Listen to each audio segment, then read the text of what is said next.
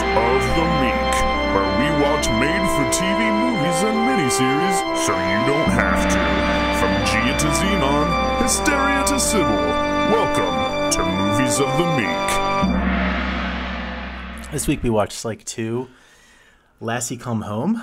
Um, it is about uh, two, I think, former private detectives who were kind of pulled out of retirement, I guess, to help solve um, a mystery surrounding uh, the recent shooting of their friend and former boss, um, Lassiter, Carlton Lassiter, um, who was the police chief uh, uh, in Santa Barbara. Uh, so they go back home and um, they're trying to figure out why uh, he's seeing weird things as he's recovering from the shooting. Um, it's a very funny movie, a very engaging movie. Um, definitely, you definitely do not need uh, to have watched the series to know what was going on.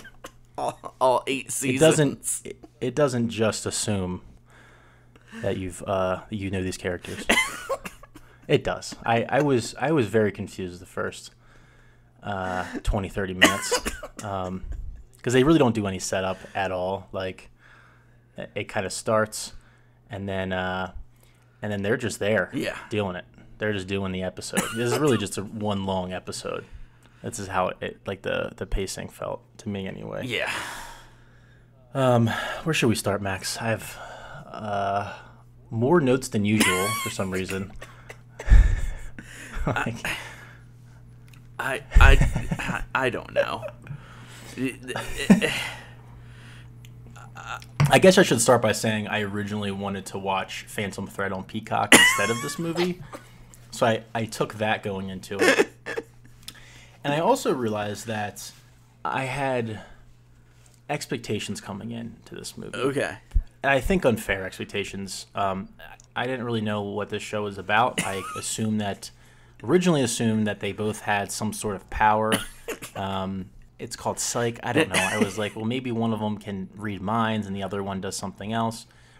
Um, and that's kind of true, right? They they do have special abilities. Kind. We'll get into that because I, I have a whole issue with. Shawn has a photographic memory, Yes, he's yeah exactly. so if we want to consider that an ability, then sure. An ability that the majority of people don't have. Yes. I think I don't have that. Do you have that? I do not have that. Okay. I don't have that. I wish I did. It seems like it would come in handy. Gus, his best friend and partner, I've been told by many, by different people that he does have abilities. He's very smart, people say.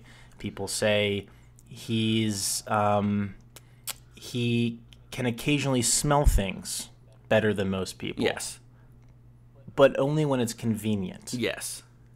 And I really want to know more about that because that that doesn't make any sense to me. And in the case of this film, it was only convenient an hour and 15 minutes into it. for ten seconds, I guess let's maybe we just start talking about their abilities because I I it has really bugged me. Oh, okay, yeah. so he he can smell things better than most people. Yes. Right. Okay. It now I've been told by um, my friend who's a big psych fan that he can smell. It's more. It's less he can smell better than most people. It's he can smell very specific things better than some people, like ing- like certain uh, perfumes or ingredients in perfumes or uh, like the scent of laundry or like weird shit. But it's not always applicable to the, the situation they're in, which is why maybe they don't use it as often as I think they should. In this movie, like you just said, they only use it once an hour into the movie, yeah. and it's it's uh, he smells peroxide, which is something that I feel like most human beings would smell. It's a very strong smell. And they ha- and what's fucked up about this movie is that they have other scenes earlier on where they're where they need to smell something, right? They're trying to track things.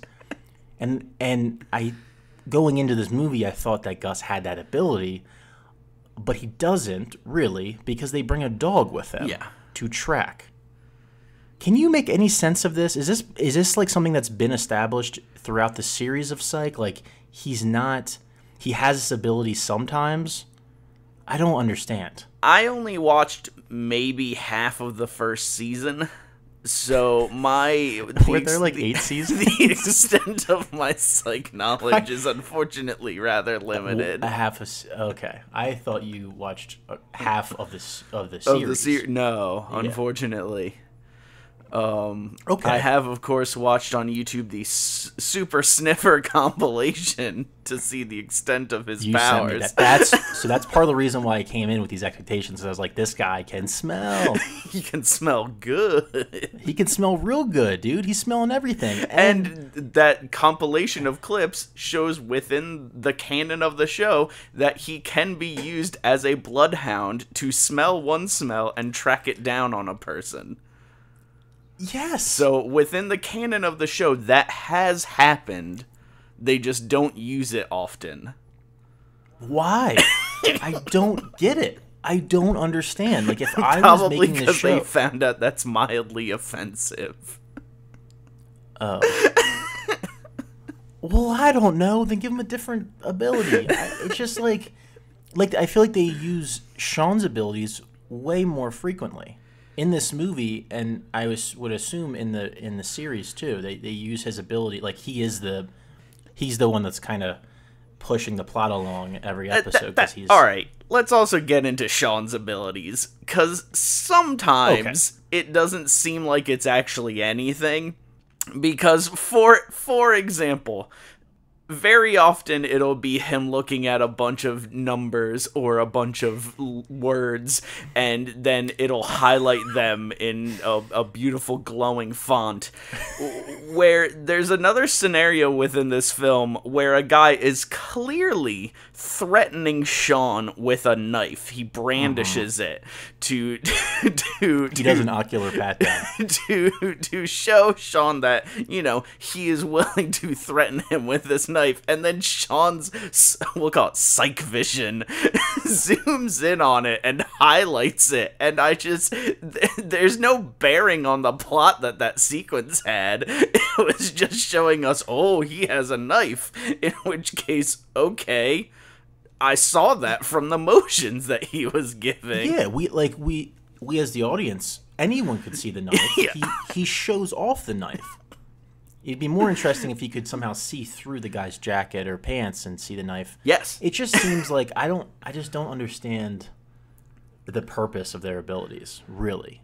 Um, and in this movie, Shawn, so he does. There's that scene where he he spots the knife that everyone could see, and there's another scene where they they're looking at their big clue board, and he's like standing a reasonable distance away, like a distance maybe that I couldn't read the board, but someone with psych powers could apparently read small print from a reasonable distance away. And then he just reads, and then the words come off the board and they fly around him, and he puts clues together. And is that in the show too? Does he? Is that something that happens? Yes. Sometimes. Okay. I don't know. I I get I I thought that the powers. I thought they had powers. I guess which is my problem, and I thought that they were going to be used way more frequently, and they're and they're way more integral to the, the actual characters. But they're not. They're just like throwaway goofs that they throw in occasionally and so to make things so this is something that gets into at least in my opinion a huge issue within the whole foundation of this show because he marries one of the detectives he's married to her They're married yes that is now his wife okay in this movie. The one that Yes. happened like during the show at some point. yeah so like okay. so my question is does he let her know that he's not really psychic and all of this has been a lie Is that a thing? And like, is he? Because- people think he's psychic? they have a psych agency and that's the thing they're not actually detectives they're working as subcontractors working with a detective agency But people think he's an actual psychic. but people think he's an actual psychic and they hire him based upon the fact that he is a psychic when in actuality he is just a person He's- with a photographic con memory that is willing to conjecture based upon his photographic memory Um, oh, I don't know. I mean, it never really comes up. I mean, to be fair, like they don't. they don't really go into their relationship at all in this movie.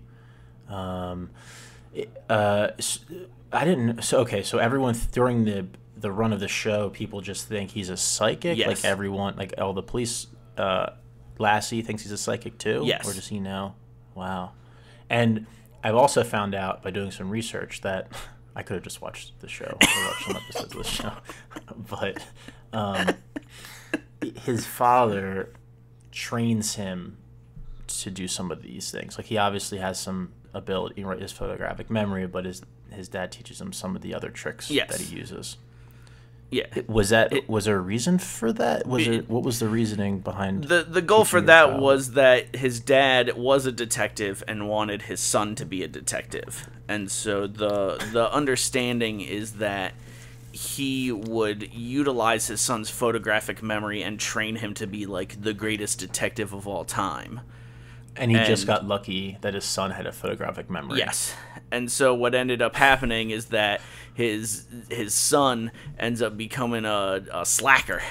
And he's like, I'll never become a cop, you know, that's real Mm-hmm. fucking lame. And then he ends up just working with the police force anyway.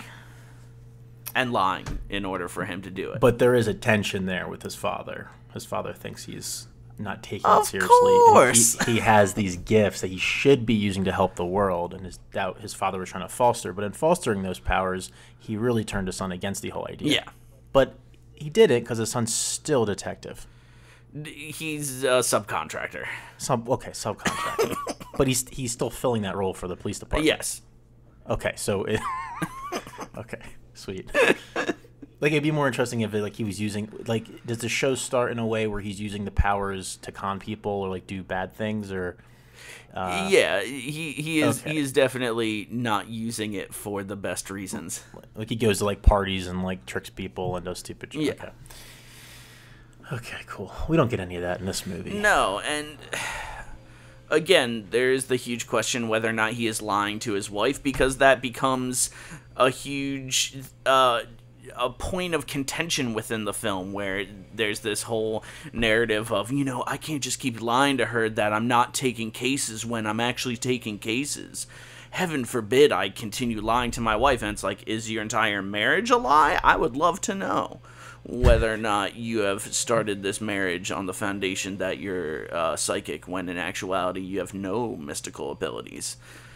Yeah, no mystical abilities. And in this movie, um, there is a bit of tension uh, because they're they're both lying to each other about helping Lassie. Yeah. Like they're both kind of sneaking around because they, I guess, uh, they came to some agreement in a former movie or episode that they're not going to do this anymore. Like they're not going to sneak around and try to solve mysteries. Um, but they're both doing it. But she's a cop, right? Yes. So she should be doing that. But that's not her department, I guess. Yeah. Like she's in San Francisco, she should be in San Francisco. Yeah. What is And okay. So this whole case that they're on, mm. yeah. it this is a very interesting situation just because Is it? the weight with which they act on it would imply that this is something that has been building and developing for multiple years. The mm-hmm. fact that Lassiter had been shot. Mm-hmm. And when the entire story pays off at the end, the weight with which they act out those scenes, it's as if it's the craziest thing that's ever happened. And again, made me feel like I had missed decades of storyline building to mm-hmm. this moment.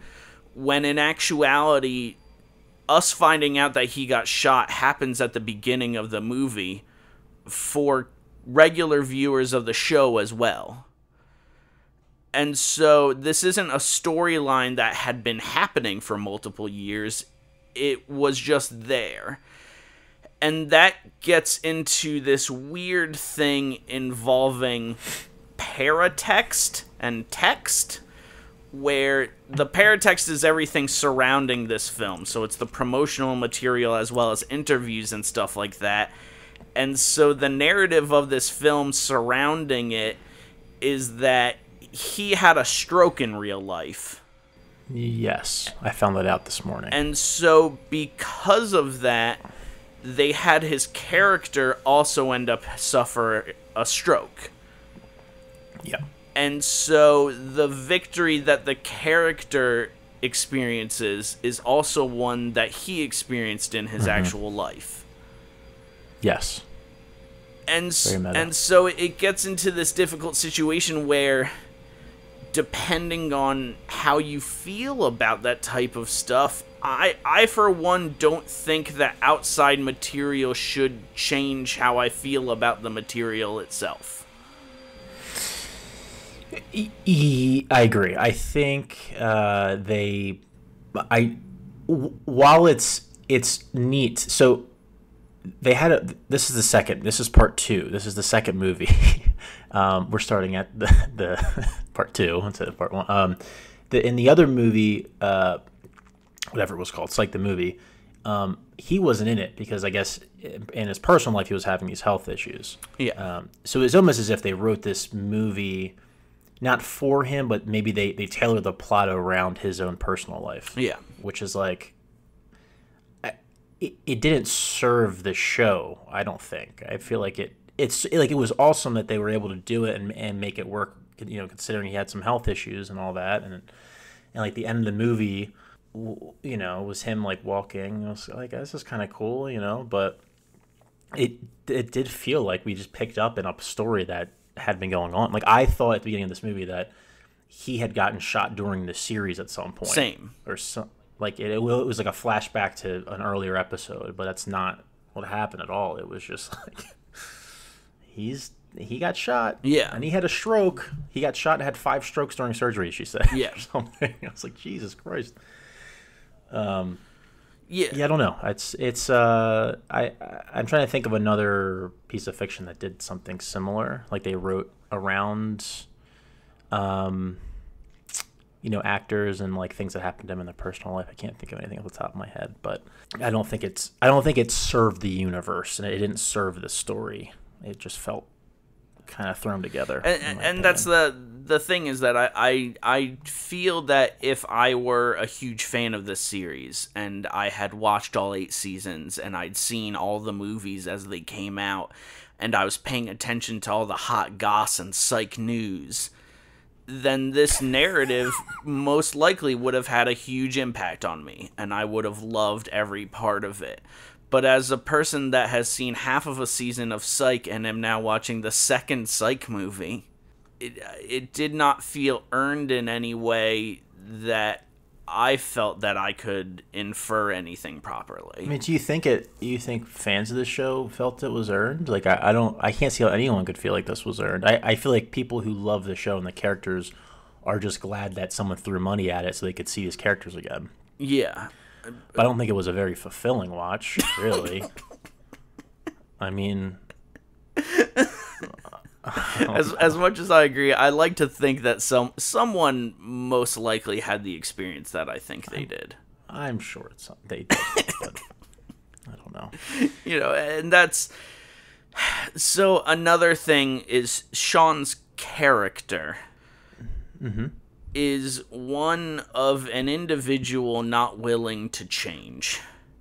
Yeah, And the unfortunate thing is that the the sub narrative of this is the potential that his wife is having a baby. yeah. Which leads that leads to some very disturbing, disturbing scenes. which leads not only to the only good scene of this entire uh, short film, as well as Oh, please! There's a couple. There's better scenes than that. But okay, as I'll well continue. as a very strange talk that he has with his father. But in, in actuality, not only does he consider himself not ready for this change, but his wife doesn't want it either. yeah. And so the narrative that you have for the course of this show is a man that is unwilling to change in any way, shape, or form. His father's trying to get him to mature and work for the police force. he decides that that's not good enough for himself, and so he'll work for them, but in some sort of adjacent fashion where he gets to be his own boss. So he, he doesn't really have any sort of things that are really pushing him. And then he decides to enter a marriage that isn't challenging him in any way, shape, or form either. The prospect of change in the form of a child comes up, and again, he is reassured don't worry, Shawn, you'll never have to change in any way. Yeah, I mean, it, well, it, it yeah. At the end of the movie, he, he really doesn't have to do anything. He just he can. Gus is the one that kind. Well, he doesn't even change. Gus gets you know they get engaged at the end. Which she then reveals, Gus's girlfriend reveal, reveals to him that she is still married. Yes, she's still married, and she's the one that's having the baby. Yeah. And they uh, are like, let's all live together in the same house, and we'll share a lazy river in the backyard. and they all start giggling and like jumping around, and that's how the movie ends. Yeah. Um. Okay. And that's all right. So at the end of a detective movie, okay, Yeah. you have the exposition dump. All right? Uh-huh. Great example of this is Knives Out. Real recently. Still need to see that, but yeah. the the exposition dump at the end of the film the detective is walking you through all the information because the detective knows what is going on in this movie the detectives don't know what's going on the exposition dump doesn't come from them and so it feels like we're just along for a ride. It doesn't feel like Shawn actually knows what he's doing, Gus knows what he's doing, Absolutely. or his Yes, wife knows what they're doing. Yes, I was like these the they're terrible detectives. like they they're good at finding clues Yes. And kind of putting it together. But you're right. The the big reveal came from the girl from Scrubs, the the nurse, Yes. right? Or like the the person who runs the rehabilitation place, Yes. whatever it's called. Um yeah, do they ever they learn what happens, right? The uh Shawn and Gus eventually like do they get the whole picture or are they just or does Lassie Lassie's the one that discovers what's going on and they're and they're at the other uh at the bar right Yes, Or am I and and they're talking they're talking they're fighting the guy yeah the the the guy's son who really Mm-hmm. is behind everything. so it ends with them not knowing what the actual conspiracy was Yes. And they and they they learn parts of it. yeah But in actuality, we the viewer That's know incredible. more information than they do. Yeah. That's incredible. So they don't really grow. It's just a it's a long episode of the show, right? That- it's just like they don't nothing really happens. I'm I'm sure there are I mean, I, you can tell me from your, the four episodes that you watch, but I'm sure that there was some kind of, you know, broader plot line that was kind of carrying through the season, but each episode might have been more contained. Yes. Um, and like they might have had some little moments of growth, but for the most part, it's the same Gus and Shawn at the, the beginning of the next episode. Yes. The same goofy idiots. And that's what this movie's setting up is the Psych Three. The same goofy idiots are now in, back in San Francisco, and they're they live together, but someone on their on their street just got murdered, so now they have to use their shitty abilities to maybe smell some things and maybe read some very small print, and they might find smell out parts of the mystery. So maybe smell something. I mean, that's kind of what the next movie is going to. I mean, I'm- I don't know. That's what I think is going to happen. Um, and I think they're committed to three other movies. So Yeah. I, yeah, there's a lot to talk about in this movie. I mean, the the plot, the so the, I just want to maybe we can just talk about that real quick. The the conspiracy of this movie, and correct me if I'm wrong. I kind of dozed off towards the end of it, a little bit, last ten minutes. Um, the the nurse from Scrubs Yes. reveals at the end to Lassie that so Lassie has been experiencing weird visions and sightings uh, like the whole movie like he's ha- having hallucinations essentially or, or what Of- people think Of his dead father. Because this his- film is oh, really all about Oh my God. fatherhood.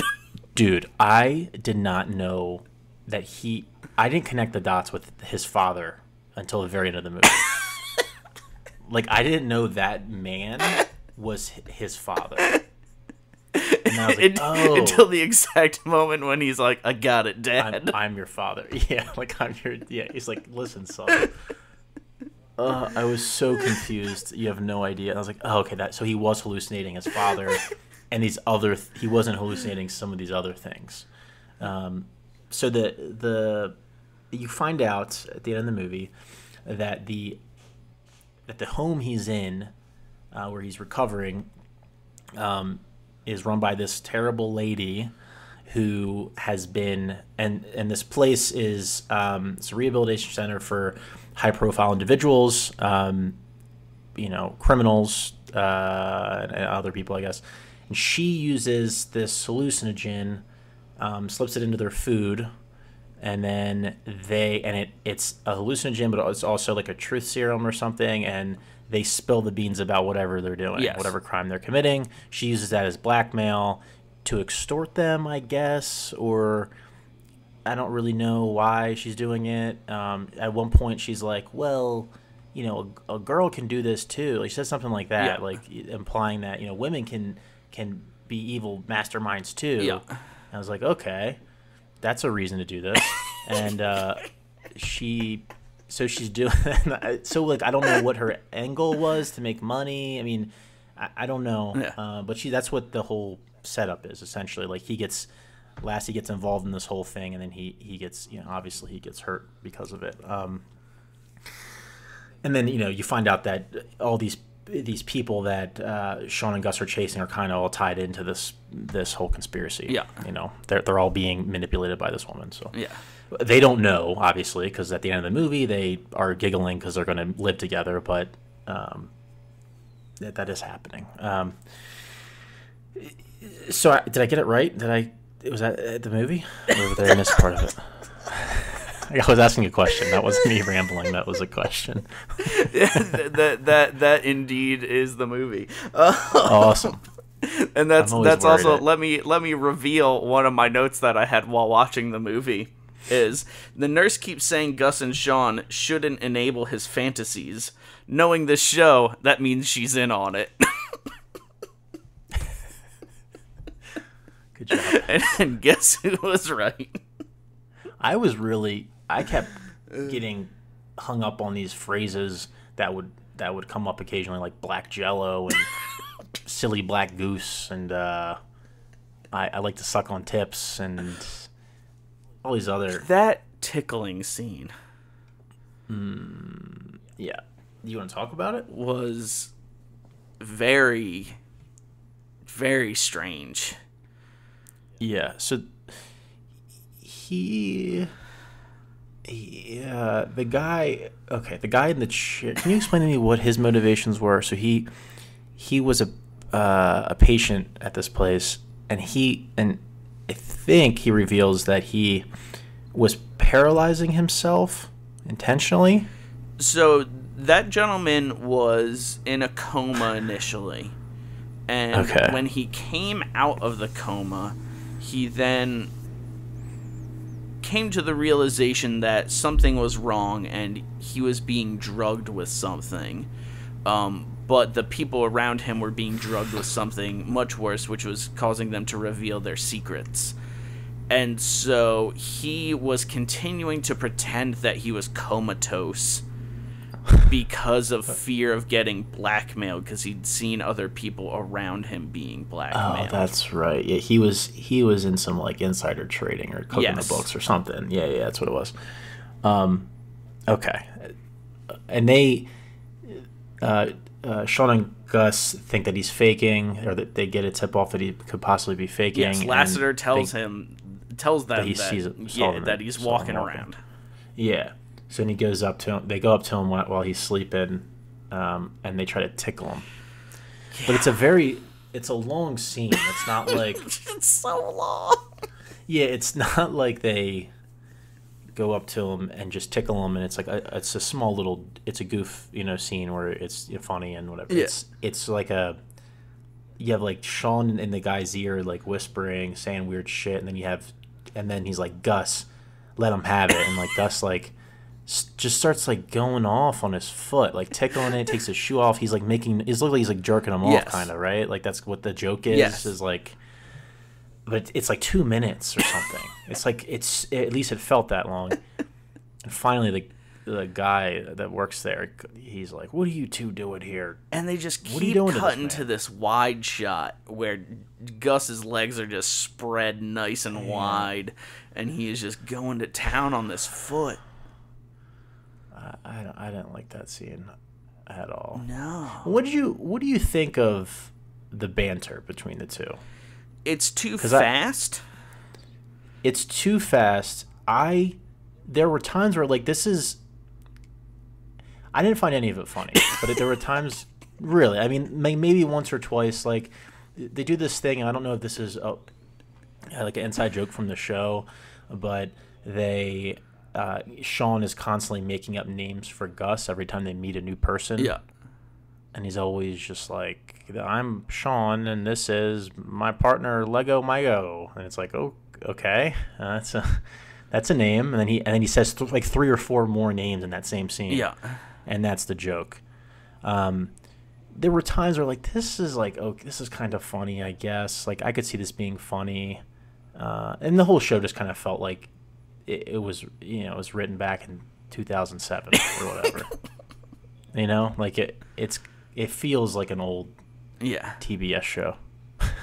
Who cares? But I'm just saying, like, yeah, I didn't. Did you find any of it entertaining at least, or, or was it kind of just all? No. no. Yeah, I, didn't was- appreciate the Yeah. I, the the nickname like Black Jello, like, uh, what was that reference to? Like, they're that's what they called him. That's what they called Gus on their adult on their uh, adult dodge dodgeball. ball. Yeah. team. Yeah, and like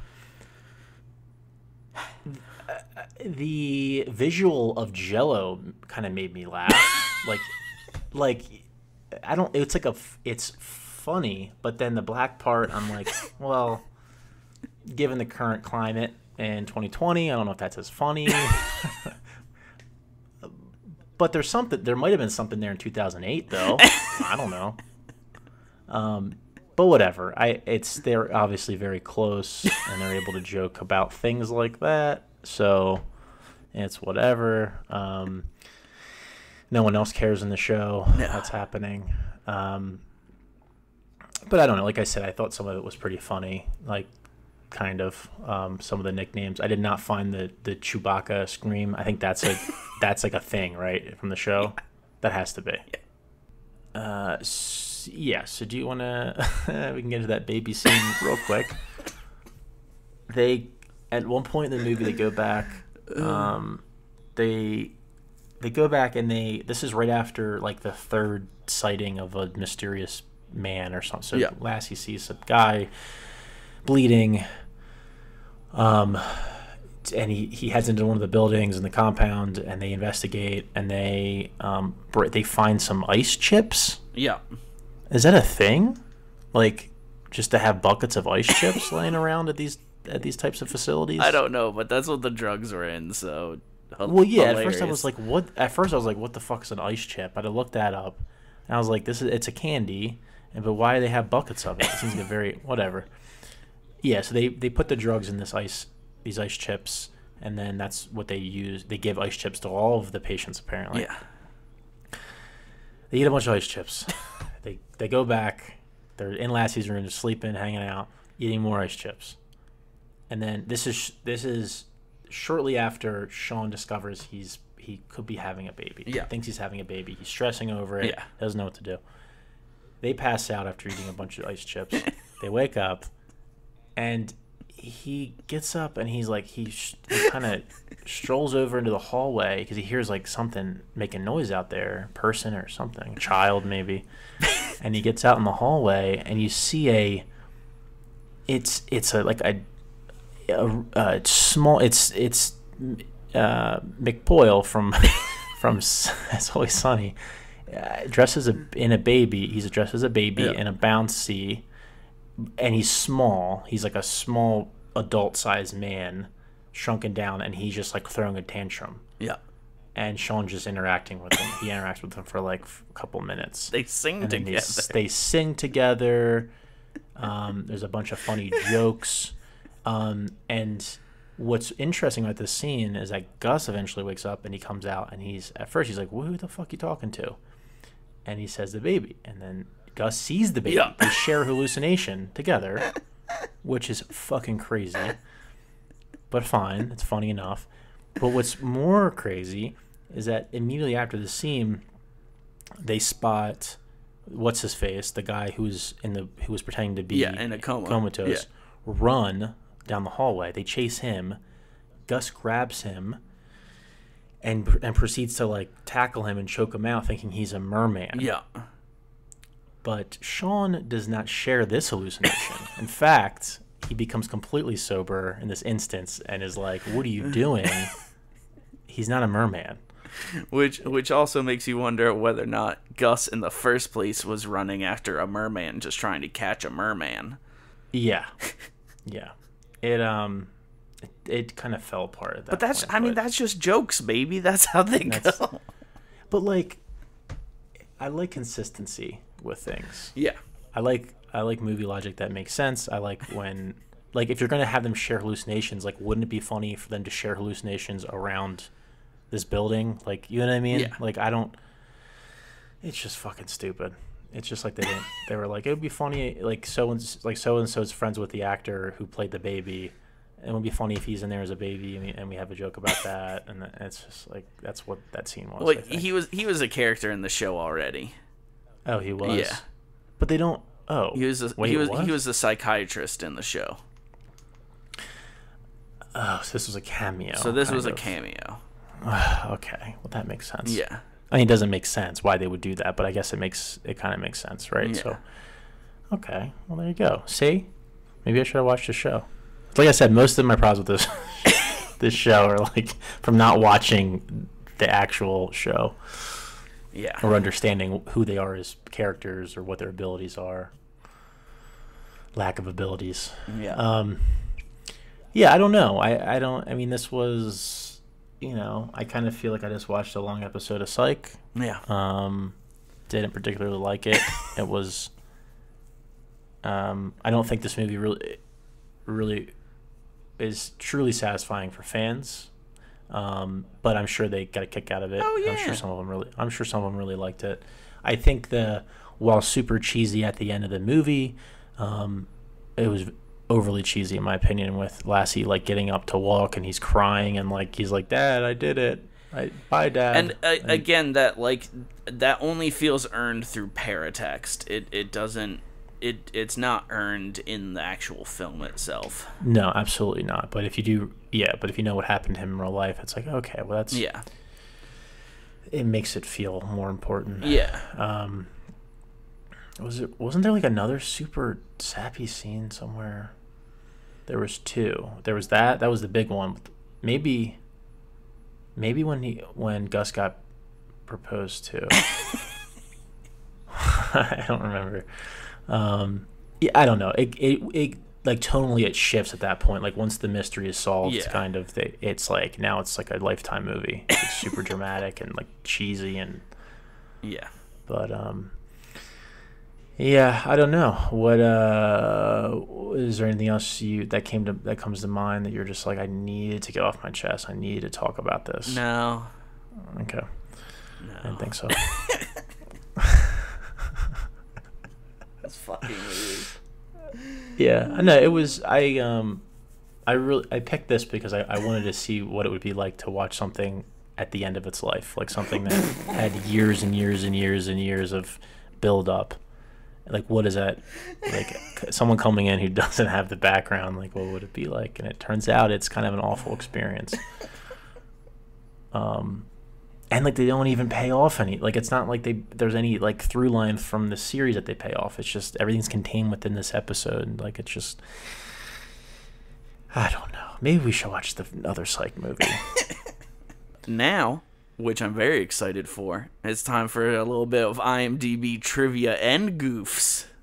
Oh finally.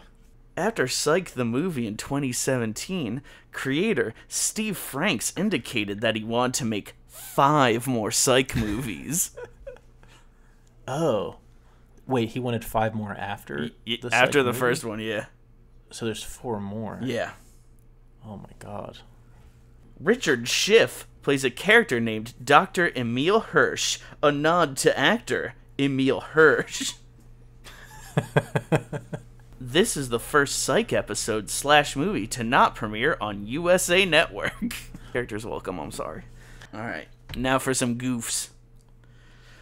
When Gus is depedaling the roses, his progress changes between oh shots. Oh, dude, we forgot about the f- his phone, dude. His phone glitching. The dog's name on his bowl is Morrissey with two S's, but spelled Morrissey with only one S on his name tag. Okay, so the dog's name is Morrissey. Morrissey. Okay. But his phone was glitching, Max.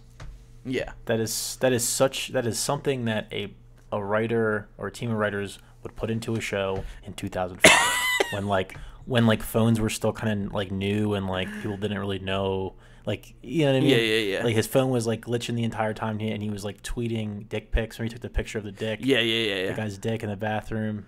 Yeah, that is that is a 2006 joke. Like it's not f- doesn't make any sense today. Yeah. In 2020. Um, can't believe I forgot that. I did that in, all, in bold. I said, talk about the phone. God damn it. Um, Next week, we're going to be doing Fred 3 baby.